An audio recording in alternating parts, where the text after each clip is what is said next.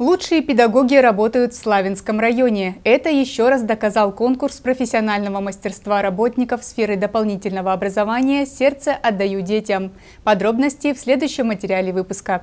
Конкурс профессионального мастерства работников сферы дополнительного образования «Сердце отдаю детям» проводится в несколько этапов – заочном и очном. В финал очного этапа вышли 9 славянских педагогов. В первом туре финалисты провели открытый мастер-класс, затем приняли участие в педагогическом многоборье и импровизированном конкурсе «Сетевая интеграция в дополнительном образовании». В заключительном этапе финала конкурса состоялось индивидуальное испытание – профессиональный диалог на актуальные темы. На этот раз дискуссия была посвящена теме искусственный интеллект и нейросеть или педагог-наставник. Я за то, что в человеке важен сам человек.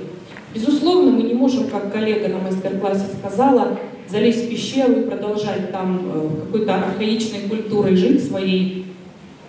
Но есть такие вещи, на мой взгляд, которые невозможно а, искусственному интеллекту перенести в нашу жизнь, привнести в нашу жизнь и, наверное, нет смысла. Это все очень здорово, но мне кажется, искусственный интеллект, я имею в виду, не стоит заигрываться и понимать, что есть такие области и сферы, в которых важна эмпатия, а, в которых важна, важна социализация, а, человеческое тепло и общение. А, то, что несет в себе учитель, это понятие более широкое и емкое.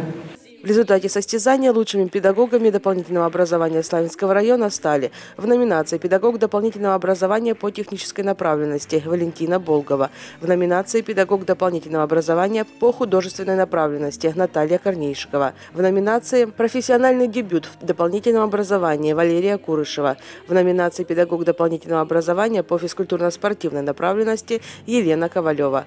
Конкурс профессионального мастерства «Сердце отдаю детям» проходит в Славянском районе в два 23 раз и является главным педагогическим конкурсом системы дополнительного образования.